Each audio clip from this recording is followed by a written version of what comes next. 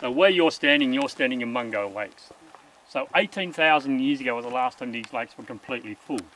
So where Red Top Lookout is over to my far left, to the you see behind me to my far right, looking around about 30, 35 kilometres wide. Where you just drove from to where you are now, about 10 kilometres long. So you measured 14 metres of freshwater in these lakes back in those days. So all your native fishes, turtles, mussel shells, yabbies are all caught out of these lakes. Course, Mungo is part of Willandra Lakes, and Mungo is the smallest lake. So there's 12 lakes, so it's the overflow.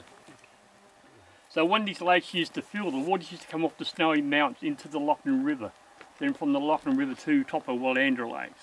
But these days, the waters don't flow down these lake systems anymore. It's all been blocked off. So now the water comes off the Snowy Strait and Lachlan straight into the Murray. Now in 1968, a gentleman by the name of Jim Bowler was walking up on these dunes. Nobody knew who he was, what he was doing out here. So he was walking around and riding his motorbike around up on these dunes.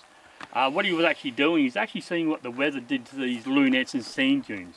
And when he came down off the, off the dunes onto the lakes, he came across these remains, marked those remains and came back a year later and unearthed those remains today known as Mungo Lady. Now she was only 18 years of age when she.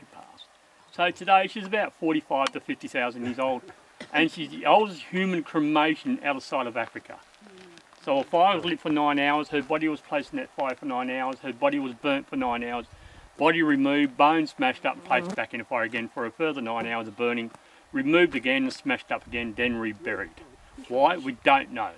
Might have been a ritual or she might have had a disease and they didn't want that disease to go through the tribe.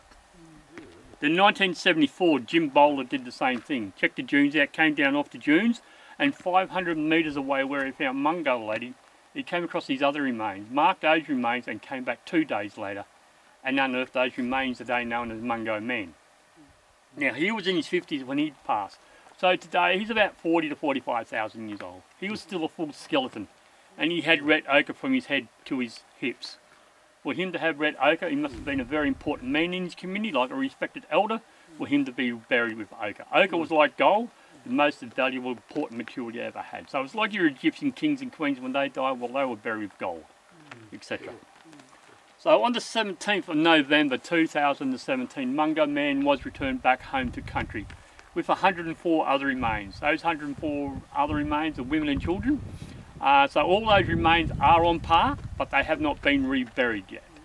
We're just waiting for the government red tape to finish so we can uh, um, bury these ancestral remains. And when that's going to happen, it's not going to be advertised. Nobody's going to know when it's going to happen. So it's just by the elders, community members, World Heritage.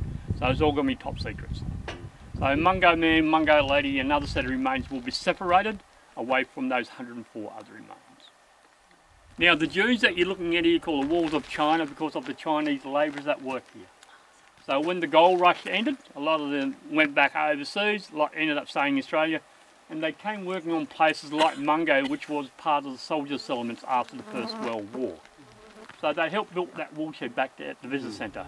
They did dance, fencing, other jobs. And every afternoon from back there, they seen these dunes. So they decided to walk up here, and when they got closer to the dunes, it reminded them of home. So that's where the name Wall of China came from.